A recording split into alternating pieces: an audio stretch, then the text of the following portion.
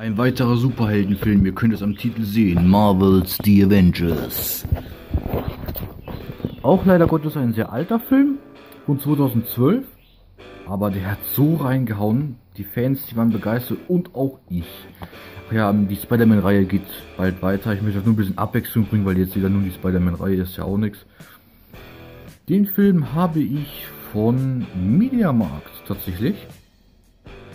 Ich fand, ich habe den im Fernsehen gesehen und fand den ja okay, das, das ist eigentlich ganz nice, den sollte ich mir in meine Reihe anlegen, äh, zulegen. Und hab es getan. Den Film habe ich auch schon ein paar Jahre hier. Nicht am Release, wo der Film eigentlich kam. Oh, schönes Bild, danke Kamera. Ich habe hier aber auch gerade ein Sonnenzimmer, vielleicht merkt ihr das. Voll schönes Feeling gerade. Deswegen nehme ich auch jetzt so viele Videos auf, wie es nur geht, damit bestmöglich die beste Quali da ist. Und sorry, falls ihr einen äh, Rausch mit meine Mutter am Saugen. Ich spiele dahinter aber Musik, dass man es nicht hört. Oh Gott. Die kriegt man immer kacke auf. Und ich will mir auch ein bisschen beeilen, bevor meine Mutter gleich hier reinkommt. So, hier ist der Film. Die Avengers. War jetzt ein bisschen lächerlich, dass ich mich beeilen will. Und ja, ich wohne noch bei meiner Mutti.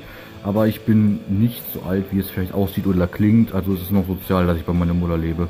Ich bin auf jeden Fall noch unter 18. So viel sei gesagt. Okay Leute, danke fürs Zusehen. Bis dann natürlich auch mal ein paar private Infos, was jetzt so eigentlich gar nicht geplant war. Ja, danke fürs Zusehen. Das ist ein toller Film. Die Avengers, Age of Ultron habe ich auch, folgt bald.